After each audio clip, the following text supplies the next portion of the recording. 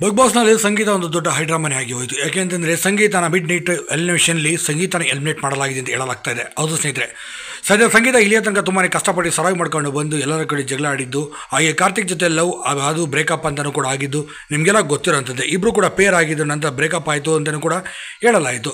ಹೌದು ಇವರಿಬ್ಬರು ಲವ್ ಮಾಡಿದ ರೀತಿಯಲ್ಲಿ ಮಾಡಿ ಫೈನಲ್ ಗಂಟೆ ಬರ್ಬೋದು ಎಂಬ ಲೆಕ್ಕಾಚಾರ ಕೂಡ ಇತ್ತು. ಅದರಂತೆ ಕೂಡ ಸಕ್ಸಸ್ ಕೂಡ ಆಗಿದ್ದಾರೆ ಅಂತ ಹೇಳ್ಬೋದು. ಆದರೆ ಇಂದು ಮಿಡ್ ನೈಟ್ ಎಲಿಮಿನೇಷನಲ್ಲಿ ಸಂಗೀತ ಅವ್ರನ್ನ ಎಲಿಮಿನೇಟ್ ಮಾಡಲಾಗಿದೆ ಅಂತ ಹೇಳಲಾಗಿದೆ. ಹೌದು ವೋಟಿಂಗಲ್ಲಿ ಬಹುತೇಕ ಕಡಿಮೆ ವೋಟಿಂಗು ಸಂಗೀತ ಅವರಿಗೆ ಈ ಬಾರಿ ಬಿದ್ದಿದೆ ಅಂತ ಹೇಳಲಾಗಿದೆ.